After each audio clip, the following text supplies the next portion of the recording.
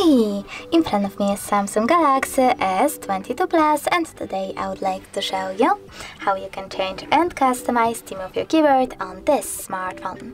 Firstly, go into settings, scroll down and choose general management. Now you need to tap on Samsung keyboard settings, scroll down again and choose theme. Then pick one of those by tapping on the best one for you, like light and simply go back. As you can see, theme of my keyboard has changed. But if you wish to try something more colorful, you can always go into Play Store, tap on the search bar and type in Gboard. Now install this free app from this developer and open it. Then click on Enable in Settings, tap on the switcher next to Gboard and choose OK in the pop-up. Following that, you need to tap on the back button, choose Select Input Method and tap on Gboard over here. Then click on Done.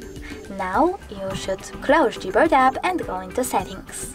Over here scroll down and tap on General Management again.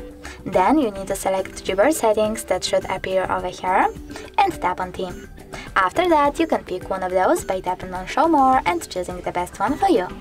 I will go with that one. Then click on it, tap on the switcher next to key borders to switch them off or on and tap on Apply. As you can see, theme of my keyboard has changed again, but you can always go into the same settings and tap on this plus icon under my themes instead. Then pick a photo that you wish to apply as your keyboard's background, pinch it to scale and drag it to move. When you're ready, select Next, adjust brightness by swiping left or right and tap on Done. Lastly, click on the sweater to enable or disable key borders, tap on Apply and go back.